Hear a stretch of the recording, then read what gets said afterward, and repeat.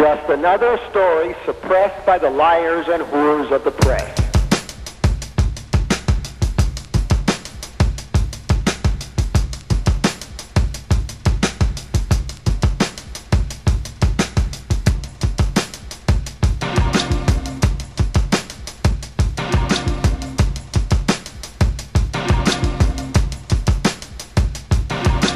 Who shot the Pope? Who shot the Pope? Who shot the Pope? Who shot the Pope? Who shot the Pope? Who shot the Pope? Who shot the Pope? Who shot the Pope? It was the Soviets. Everybody knows that. I read about that in the papers. It was the KGB. Wasn't there some sort of Bulgarian connection? The Soviets and him arranged it all in Bulgaria. Yeah, I saw it on TV. The Russians were behind the whole thing. Well, I'm not sure, but I think the Soviets trained, or maybe programmed that guy, whatever his name is. Who shot the Pope? Mehmet Ali Agca. Who shot the Pope? Mehmet Ali Agca. Agca was a member of the Grey Wolves in Turkey. The Grey Wolves were a large group of young terrorists with ultra-right fascist ideology. Their political affiliates, the Nationalist Action Party, became very powerful in Turkey throughout the 70s. By 71, the Grey Wolves were a dominant force in the schools and universities, beating or killing their political opponents, which allowed the NAP to gain control over the Ministry of Education. They also had control of the customs ministry and used it to smuggle vast amounts of arms and drugs for large profits. Who shot the Pope? Who shot the Pope? Who shot the Pope? Who shot the Pope? By 1975, street violence carried out by the Grey Wolves was a daily occurrence. In 1979, Agca was arrested for assassinating one of Turkey's most prominent newspaper editors. Months after, he was smuggled out of prison by Grey Wolves.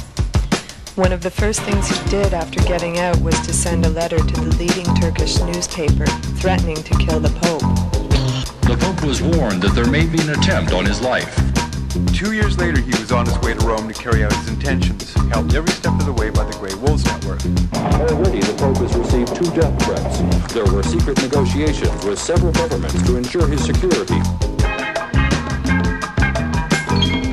13, 1981, Mehmet Ali Agca shot Pope John Paul II in St. Peter's Square, seriously wounding him. The Italian police had abundant evidence implicating the Grey Wolves in the shooting. But little of this evidence was presented in the trials. Why? Who shot the Pope? Who shot the Pope? Who shot the Pope? Who shot the Pope? Who shot the Pope? Who shot the Pope? In the Rush first trial in 1981, Agca claimed he was an independent international terrorist without any ideology. The trial concluded that an unknown shadowy force was behind the conspiracy despite the great amount of evidence pointing to the Grey Wolves. Six months after the first trial, Agca began, little by little, to bring the Bulgarians into the story. In September 82, Reader's Digest published the story The Plot to Kill the Pope, written by Claire Sterling, claiming that the shooting was instigated by the Bulgarian secret services who were controlled by the KGB. In November, Agca stated that several Bulgarians living in Rome helped him with the shooting, and that it was originally planned while he was in Bulgaria in the summer of 1980. The Western media picked up on this and made immediate headline news and continued to give the Bulgarian connection prominent news coverage for the next four years. The Reagan administration in the United States had claimed from the beginning the Soviets were behind it, of course in keeping with their claim that the Soviets were behind all international terrorism. This all was terribly convenient for the U.S. administration, who used this as another reason for the huge military buildup.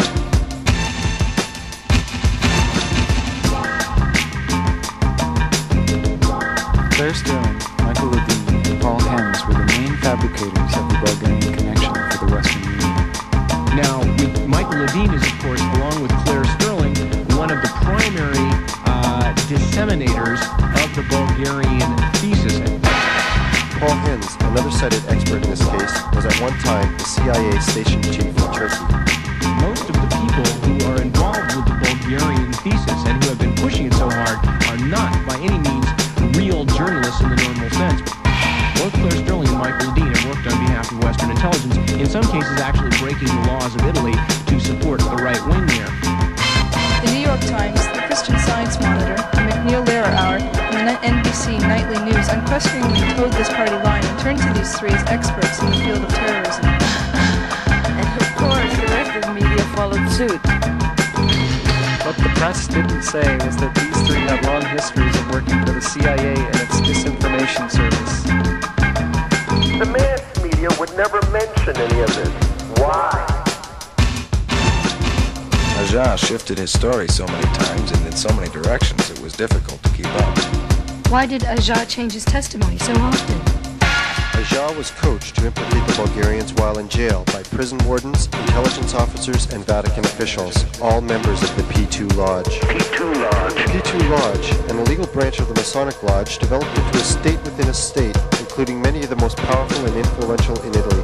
P2's interest in blaming the Soviets was primarily to discredit the left in Italy. P2 Lodge. So Agca played along, gaining himself more attention in the courts and in the media. Who shot the Pope? Who shot the Pope? Who shot the Pope? Who shot the Pope? Mehmet Ali Agca.